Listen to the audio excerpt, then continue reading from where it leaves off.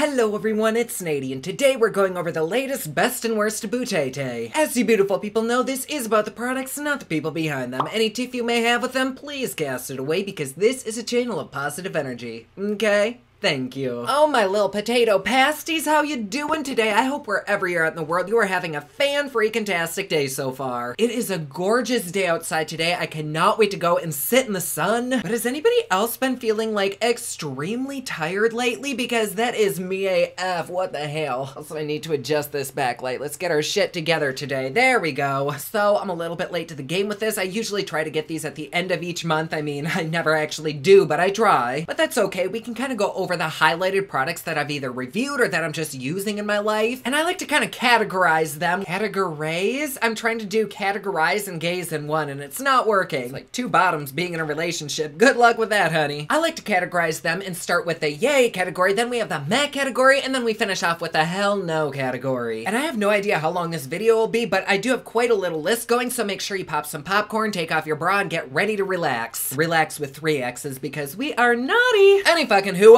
let's go ahead and start. The first thing on my list is an item that was actually sent to me. I do not need to promote this, but I have been using it and I like it. This is the Good Molecules Rose Water Daily Cleansing Gel. I always switch between this and the Paris Hilton face wash. Like, these two have kind of become my holy fucking grails. But I will say, unless I'm in a hurry, like I have a hookup to be at or something, I will use this with a spin brush, so I don't really know if it's the spin brush that's great or the face washes that I use. But since adding this to my routine, I've really thought my skin looked pretty good. So yeah, I'm gonna continue using this in my Paris Hilton, but I like this so far. Then next, we have a product that I don't actually have anymore because I gave it to a friend. That's the Rare Beauty lipstick. We tested quite a few of the Rare Beauty items, and this is the only one in the collection that can make it even close to this category. What really did make my nips hard with this collection were the lipsticks. No, they're totally not worth the price. No, they are not long lasting, but oh my god, they are hella comfy. They remind me a lot of the NYX Moussey ones. I think they have one. I think they're the liquid suede. They're very, very similar, but I think the Rare Beauty ones are a little bit more comfortable and lightweight. I love the color choices and I loved the color that I have. I don't remember what the fuck it was, but it was a beautiful like fire engine red. So beautiful. I did really, really like it. Is it something that I necessarily recommend? Not really. I do think that you could probably find equal or better quality for cheaper, but out of everything that we've tested lately, that honestly was one of my favorite things. Then we have a few little sculpting palettes that I've been addicted to. I recently started using this one when I did my full face of drugstore makeup. This is the Catrice Cosmetics Sculpting Squad. I really, really like it. It has a nice little array of cool tones to it. Honestly, I do kind of end up swirling my brush and everything and just hope that it turns out, but I've not really had any complaints so far, so I guess that's good. And then I've also really been addicted to the Gerard Cosmetics Starlit slash Sunset and Vine palette, and it has one beautiful kind of like cool tone, and then two really pretty highlighters in here, which I actually use these as eyeshadows. Honestly though, I think I've used all of these on my eyes. But when I want a really fierce and deep contour, I dive right for this one. It has really nice pigmentation to it. It seems pretty long lasting. Plus, I think they are always having sales, so you can find discount codes everywhere. In fact, I think I have one. Actually, I know I do, but I don't know what it is. I will do my best to check, and if I find it, I'll link it to you down below. Do not feel obligated to use my code. I hate pushing codes, but if you want to use it, please feel free to, and thank you so much. But even if I didn't have a fucking code, I would tell you the same thing. I genuinely like that palette. Shit, I'm actually kind of grouping everything together. Kind of like this. Next, I guess, is the blushes. In that same video where I did the full face of drugstore, I was kind of introduced to this Makeup Revolution palette. This is, what is it? Honestly, I don't even know if this has a damn name, but it's really, really pretty. It has flamingos imprinted in it. My ass really gravitates towards like salmon and corally blushes, and so this is like a wet dream for me. Usually, I'll just take my brush and just dip into all of these at the same time, kind of like what I do with that Catrice palette. And nine times out of 10, my blush will look fucking fantastic. The one time that it doesn't, it's because I'm drunk and I put too much on. It happens, we love a good Trixie Mattel moment every now and again. Then the next blush, I probably stick my peony into at least two times a week. Wait, did I say peony? I definitely meant brush.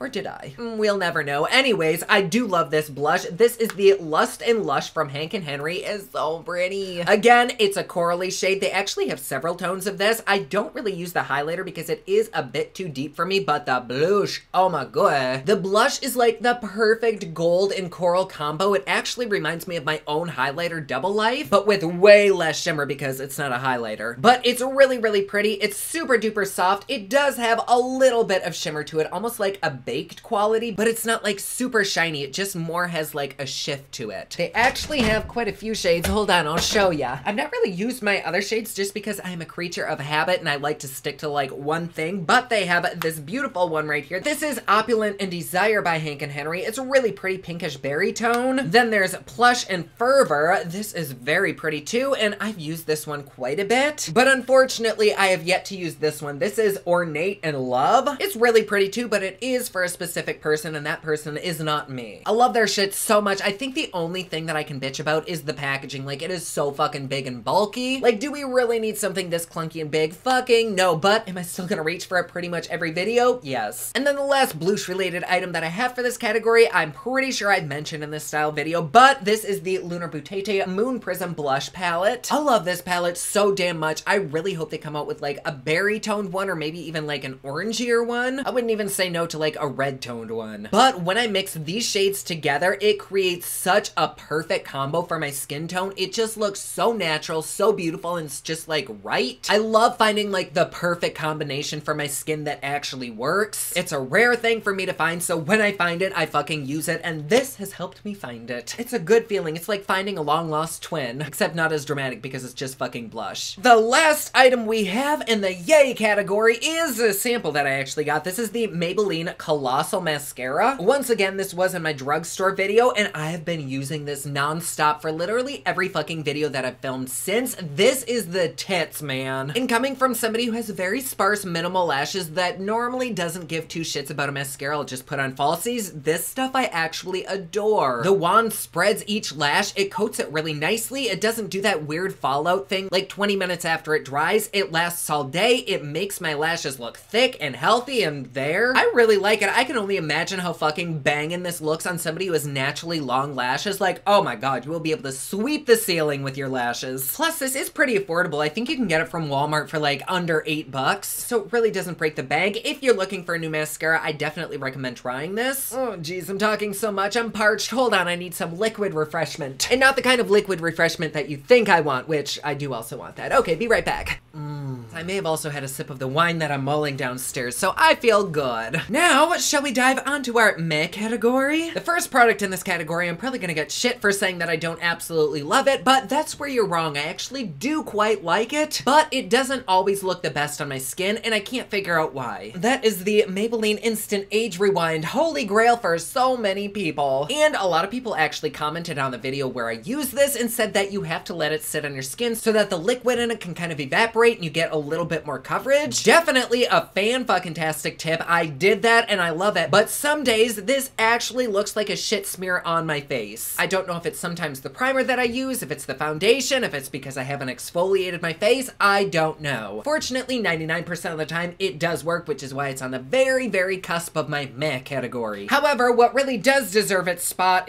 is, where is it? Oh, for fuck's sake. Oh, it's hiding behind my microphone. That is an item that we very recently reviewed, the Dragun Beauty Green Color Corrector. Oh my god. It doesn't even want to stay in my hands because it knows I'm gonna talk shit about it. But I actually don't hate this product. I think the biggest negative with this is the price. Like it's 25 or $26 and then with shipping and tax, this was almost 40. It was like 37. And like I said in my review, this is pretty much a wet and wild lipstick. You can get very, very inexpensive dupes, which truthfully, I think these are a little bit better. But I'm not positive if they change the formula because out of the three color correctors that this brand has launched, this is my favorite. Is it awful? No, that's why it's not in the hell no category. This did actually diffuse my redness a little bit, like a whole lot. No, like certainly not $36 worth, but I've tried this a few times and I really do think my makeup does look a little bit better. It might be a placebo, but I'm still gonna try using it. And so price-wise, it is a hell no. Quality-wise though, it's still pretty meh. I don't really know very much about the people behind this brand. I don't really follow them. Don't come for me. Not here for the drama, honey. And moving on to our next meh product, we have our Natasha Denona palette. This too actually was kind of on the little line between between the yes and the matte category, but definitely a bit more meh than yes. I really like the mattes in this palette. They are so beautiful. They blend out very, very easily. However, you only get a few mattes in here, and that's the part that I like. I love that you can take the shadows out. I like that this is a nice hard case, perfect for traveling, especially if you are a makeup pro. Not like I was forced to buy this palette, but I do feel like there are a lot of really, really good quality cool tone palettes out there that this doesn't necessarily replace. However, this is a decent palette. Like the quality is okay. The shimmers are kind of like a hit or a miss. I think I would be comfortable using this on somebody else. And so I guess that does say something, but for me, the price just doesn't justify the quality. And though it is beautiful, it's very, very basic and I don't need any more basic in my life. I'm enough basic for the whole world. Then we have a palette from a gal that I actually do quite like, but this is not about the people behind it. It is about the product. And that is Miss Nikkie Tutorials herself. This is her collaboration with Beauty Bay, and I do really actually like the color scheme. I know a lot of people weren't feeling it,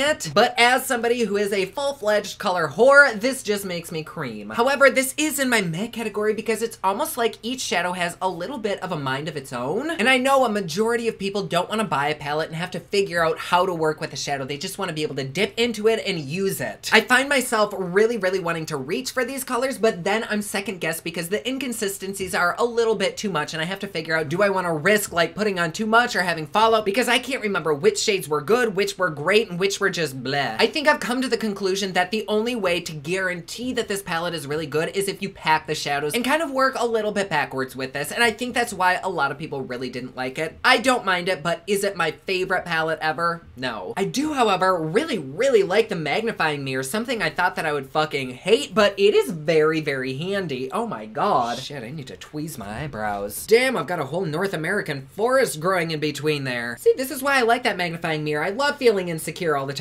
No, but when I am doing looks, and especially my eyeliner, this mirror is actually really handy. So yes, it's not my favorite, but it certainly isn't bad. Then for the last product in this category, that is Rare Beauty, and I'm talking about the eyeliner. I thought this was my favorite product from this line until I used it the other day, and oh my god, it destroyed my makeup. I was just doing a normal ass wing, but then suddenly it started bleeding on my eyelid, and my wing was getting bigger and bigger, and then it got in my inner corner, and my eyeball was black, and then my eyes were watering, and black was just coming down here, and it was staining my makeup. It was just a fucking nightmare of a shit show. And so, of course, I tried it again yesterday, and the same thing happened. But when I do very, very minimal makeup looks and I use this, it's actually really pretty. So I think it's just that it doesn't really layer over other things very well. And I also don't love the way that this is weighted. I know that's such a silly problem, but having it this way just makes so much more sense ergonomically. I do absolutely love the packaging, and I know there was quite a kerfuffle over whether or not this brand kind of catered towards individuals who might not be able to open things easily or hold things quite as securely as other individuals, and that turned out to be very, very false. I guess it was purely coincidental, so I really don't understand like why it is so back heavy that just doesn't make sense. But when it isn't smudging everywhere, the formula actually is very, very pretty. It has a wonderful little pointy applicator, if it'll fucking focus. Come on, maybe it won't. All right. But it's a nice pointed bristle applicator. You can get very, very precise with it, but is it perfect? Very far from it. However, it really isn't the worst liner that we've used, and the price point wasn't too bad. I think it was around 20 bucks. I mean, where I'm from, you can get a blowjob and a three-course dinner for 20 bucks, but I guess this is worth the 20 bucks too. And now, lastly, we move on to our hell no category. Let's go ahead and start with this monstrosity. This is the NARS Soft Matte Foundation. Oh my god. I have tried this so many ways, and I know that for some people this really, really does work, but it does not work for me. Even after moisturizing and exfoliating and priming with the best fucking primer that I have, this doesn't look good. Full fucking coverage, like I will give it snaps for that, but this just looks so damn dry, and it says it's oxidization proof, which I have to call bullshit. Even when I reviewed this, it was oxidizing in the weirdest places. And then a few people said, well, since it's so dry, why don't you just mix a few drops of like facial oil in it? Which I was kind of skeptical to do because normally that would like break everything up, which it absolutely did. But the moment the oil touched this foundation, it went down like three shades. So if you have oily skin, this will 1000% oxidize on your face. You're gonna look either orange, you're gonna look like an Oompa Loompa, you'll look too dark or something. It just is not a good foundation and I'm probably gonna actually return it. Nor nor was the Rare Beauty Foundation. Oh my god, I do not mean to drag that brand so much, but we did just try them out. But that I actually did return, so I don't have it to show you. But it was very, very pricey. It clung to all of my dry patches, even after I'd exfoliate, even after I did a chemical peel. It just looked genuinely terrible on my skin. I'm sure it looks great on a lot of people, but to me, it was like a tier below drugstore. Yet that shit was, what, like 30 or 40 bucks? And I really do love what the brand stands for with advocating for mental health,